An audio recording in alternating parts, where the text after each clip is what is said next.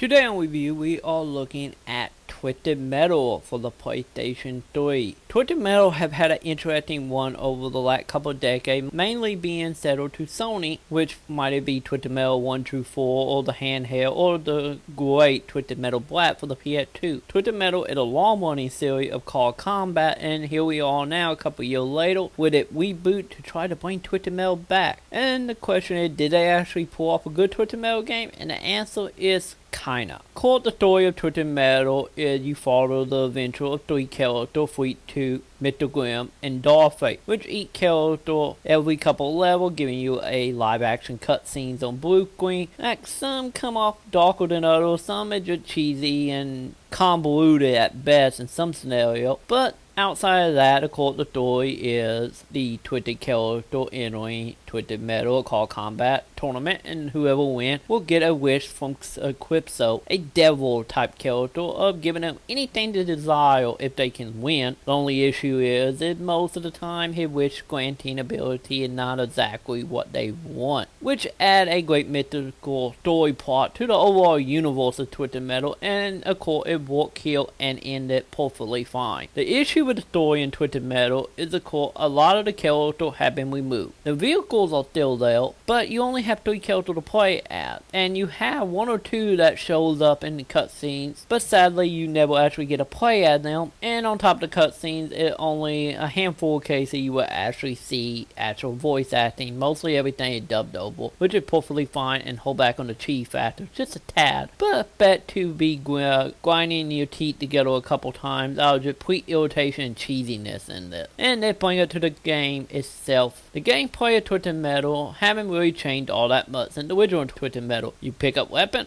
you kill everyone, you win. But they have added a few more game mode to it. Now you of course have Wasted, which you have to kill everybody by putting bombs on it, and whoever get the full plate will detonate everyone else, and you will win. They will also have it where it's just straight up wasting, where you gotta get to the end of the track in four plates, and once you do, you kill whoever remaining. You have cage matches, which you have an area of each map be moving around at constant weight, and you have to stay in that area to fight, because if you're outside the area for too long, health will be drained. And then of course you have the straight up deathmatch combat. But that's not just the only gameplay you have in Twisted Metal. The way they handle life and the impact Twisted Metal, you will have how many life to beat everybody. This time around, you have the ability to pick up to three characters or three cards with level of uh, switching out building put in random places of the level. If you get too damaged, you go, you switch out your card, you get another one, and in time your uh, pack card will be re-energized. And it added night mix and match feature and just adapting to whatever you're competing at at the moment and help it from getting extremely frustrating. But sadly, it still gets frustrating. That just help. The frustration in this come from mainly some of the boss fights and some of the level just seem a little overpowered. Mainly the one where you're having to fight Juggernaut, which in D level you have to hunt down the vehicle and destroy it because every couple of minutes he will spawn a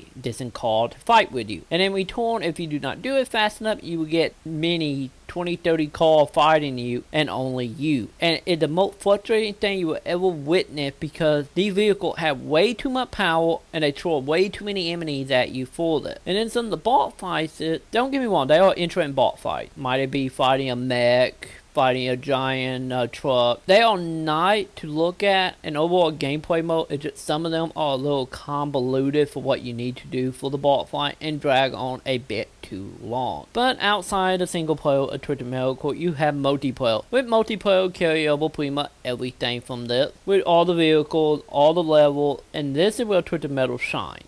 Metal Court have over 12 maps here, which every map can be modification down to if you want to block off certain parts of the map and take all that information online. You can change out weapon, map location, vehicle setting, so on. It add a great sense of uh, customization when it comes to this. The only real issue here is some of the bet game mode from the single player do not carry over such a cage match and racing. This is mainly just straight up death match overall. But as far as offline co-op here, of course you have up to 4 player quick screen which we haven't seen in a while, which had the same ability as online setting up game. And overall the game is fun if you got friends to play with or you have people to play with online. I can't recommend it enough for that but if you're playing Twisted Metal just as a single player game, this is not a cakewalk by any means. You will be frustrated and in many cases want to throw your remote, which is kind of sad. It seems fairly unbalanced in places, which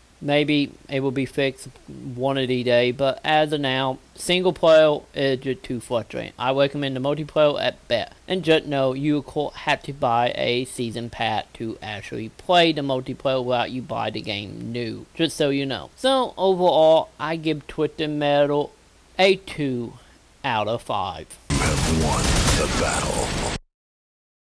We shall tear down your tower of sin!